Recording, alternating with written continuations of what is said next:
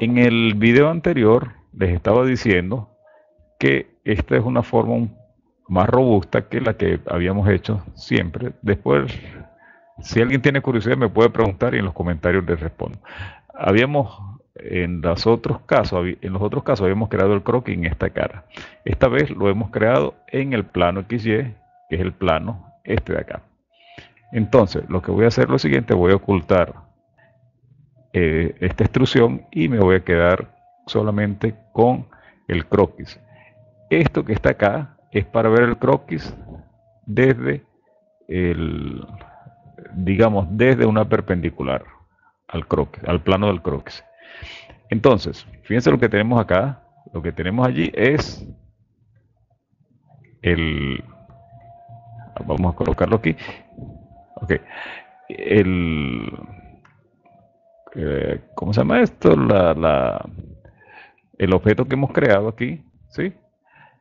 Y ahora sobre esto voy a crear el agujero. Entonces me vengo para acá, otra vez desde aquí, y le voy a, voy a crear sobre este eje, el eje X, voy a crear un agujero de 5 milímetros de diámetro, de radio, perdón, ¿sí?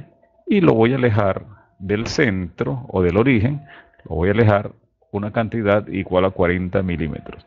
Aquí puedo seleccionar esto y seleccionar esto y le digo que esa, esa distancia sea 40 milímetros. ¿sí? Vamos a hacerlo solamente así. Fíjense que si yo selecciono solamente uno y le doy acá, me va a dar la distancia que hay desde el punto que seleccioné hasta el, en este caso hasta el eje Y, que bueno, que como el punto está sobre el eje X, bueno, va a ser la distancia que hay desde el punto hasta el origen. Y aquí le vamos a dar 40. 40 milímetros. Y ya lo tenemos. Entonces aquí cerramos, está completamente restringido nuestro croquis, que es lo que es recomendable siempre aunque acá estamos saltándonos esa, esa sugerencia, esa regla, cerramos y ahora, si nos damos cuenta, el croquis está en el plano XY y la extrusión, ¿sí? la placa, está también en el plano XY, pero la dirección de la, de la extrusión es hacia la parte positiva del eje X, del eje Z, perdón. Entonces, yo lo que voy a hacer es lo siguiente. Yo voy a hacer, voy a mantener esto acá y voy a hacer un vaciado. Pero fíjense que ahora la dirección del vaciado tiene que ser en la dirección del eje Z. Si yo por defecto digo que haga el vaciado, la dirección del vaciado va a ser hacia, en este caso, lo que se ve aquí como que estuviera hacia abajo. Pues. Entonces, ¿qué voy a hacer yo aquí? Le voy a decir que haga el vaciado, selecciono el croquis, ya sabemos cuál es el croquis, ese que está allí.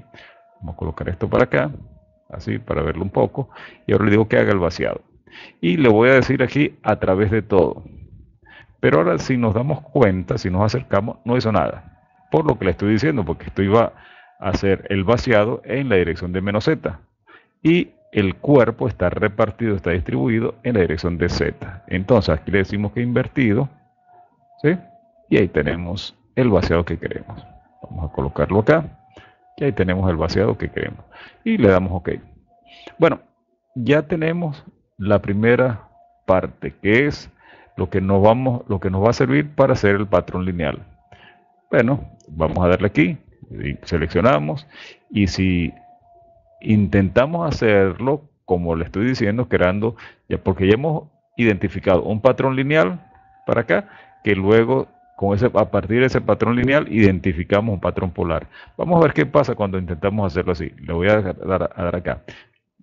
De todas maneras, por si acaso, vamos a recordar que lo que queremos crear, que es lo que queremos crear, es esto lo que queremos crear. ¿Está bien? Entonces, vengo para acá y le voy a dar aquí patrón lineal. Patrón lineal y ya creo dos, ya creo que tenía cuatro y la distancia que le había colocado en el otro, en el ejemplo, era de 150. Ahí tenemos. Y aquí le doy OK. Entonces, Alguien puede decir, bueno, ahora voy a hacer, a partir de este patrón lineal, voy a hacer un patrón polar y vamos a ver qué pasa. Cuando le doy acá, patrón polar, ¡pum! Tenemos un problema, porque dice que solamente las características aditivas o subtractivas se pueden transformar. Igual, si hubiéramos hecho el, en el otro orden, también me queda distinto. Vamos a seguir esto en el, en el siguiente video y con la invitación a que se suscriban a los canales de Odyssey y de YouTube, ya que a que compartan y a que le den a la campanita. Saludos.